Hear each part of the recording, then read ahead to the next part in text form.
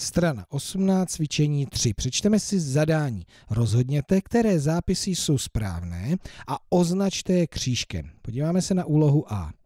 Bod A leží na aha, přímce BC. Přímka je nekonečně dlouhá čára, přímá, a tady je označená, určená dvěma body. Nekonečně dlouhá čára a bod A na ní leží. A nemůže současně ležet a současně neležet, takže tohle to pravda není, tam křížek neudělám.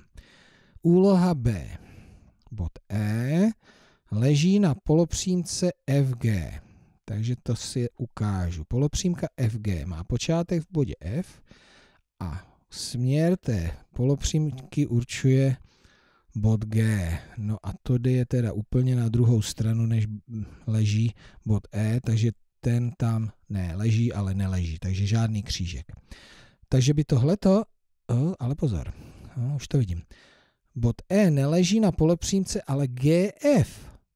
To není ta samá jako tady. G, počátek a tentokrát F určuje, bod F určuje směr, no a to teda přes bod E jde.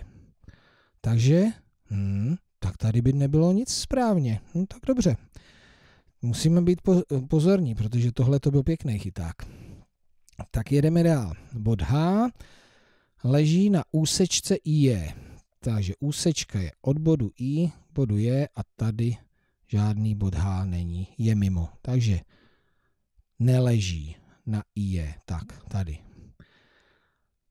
Úsečka H je, je shodná s JH, s úsečkou JH. No to je tahle ta úsečka s touhletou úsečkou. To je ta totožná úsečka, akorát jsou přehozené krajní body. Tak to platí. Úsečka HI je shodná s HJ, no tak to na první pohled, a to je kratší.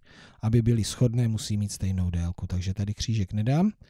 No ale jsem zvědavý na tohleto. No jo, je to tak. Tak pozor, některá cvičení nemusí mít vůbec žádná správná řešení, takže pozor na to.